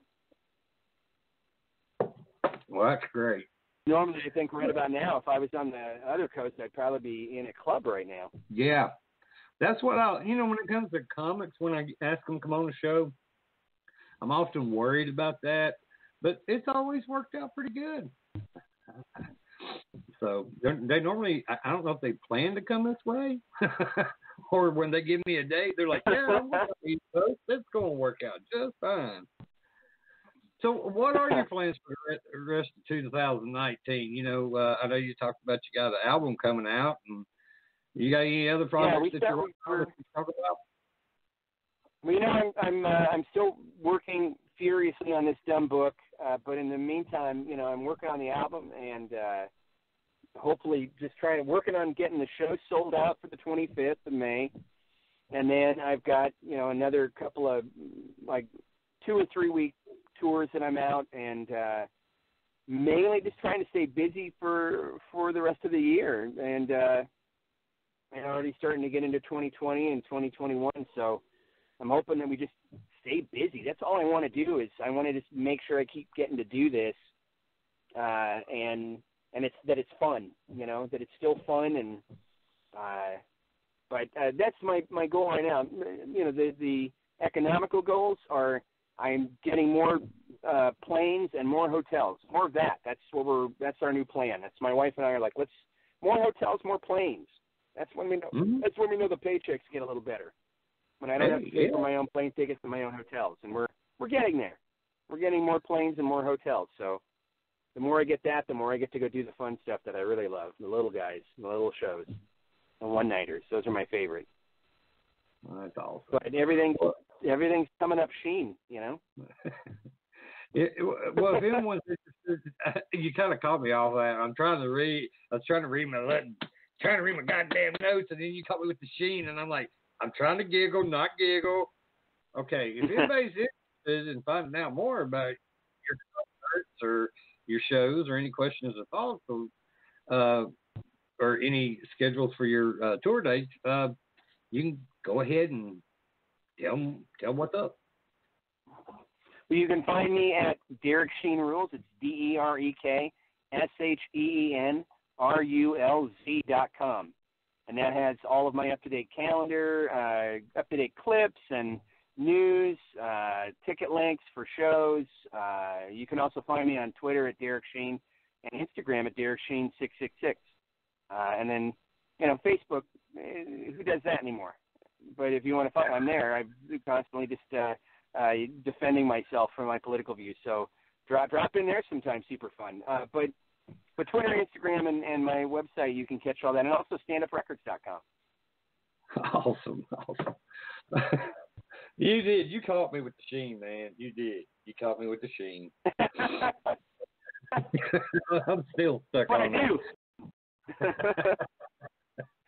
well, Derek, again, man, it, it was an honor to have you on the show. You know, nothing but respect for what you're doing, and and keep up the good work. I'll be watching, and if you ever get by close to where I'm at, let me know, and I'll come and watch you. Shoot shit with you. Drink. You got it, well, my friend. I'll drink a water with you. How's that? Uh, Yeah, I'll do that. Or a Diet Coke. I'll drink a Diet Coke. Ugh, I'll drink a Coke. Yeah. Diet Coke. Regular Coke. I'm, I'm with you. Uh, well, I appreciate you having me on, my friend, and uh, I do look forward to uh, coming to your neck of the woods sometime. Oh, it'd be awesome. I love to have. We'd love to have y'all out here this web coast. Lord knows these fuckers around here need a good laugh. I'll, I'll, I'll, see what I can do. Okay, man. Well, you have a good night and a great weekend. Happy Easter and all that good stuff. And uh, you know, keep your pellet dry. You got, I love it. Thanks for having me. Thanks for having me on. Oh, you're welcome, sir. Take you care. like you. You too. Have a good one. Bye bye. Bye bye. Well, that's it for us tonight. I want to thank the Sheen, Derek Sheen, for coming on the show, man. It, you know, that, that was a great show. Loved it. Um, I'll be taking a, a break next week. I won't be on next Thursday, but I'll be back on May 2nd with my special guest, the Ice Queen and co-founder of Paranormal, Paranormal Investigations and Paranormal Investigator with REAP Investigations, Amy Green. Damn, that was a mouthful. Thanks again. Uh, until until a couple weeks. Everyone have a safe weekend. Everybody have a happy Easter. Everybody have a good night. And I love you all. Ciao. I know you all hear me say this all the time. Where's my damn button? Let me see. Where seriously? Where is my damn button? Uh, oh, here it is. That's it for us tonight. I want to thank everyone that took the time to listen in. I'd like to give a big shout out to the Vibe Radio Network and to Ryan for putting up with us. Also to all the first responders and our men and women in the armed services. Thank you for your service and the sacrifices that you and your families make every day to keep our great nation safe. Tune in next week to another exciting show starting at 10 p.m. Eastern Standard Time. Everyone can go to our Facebook page within the chaos and don't forget to like our page uh, to see upcoming guests along with past shows, postings, or you can also go to uh, my website at www.blackdiamondps.org or blogtalkradio.com forward slash Vibe Radio Network. Also, we have a YouTube channel, so go to YouTube, look up Within the Chaos for past shows. Thanks again. Until next week, everyone have a safe weekend and have a good night. And love you all. Be careful out there.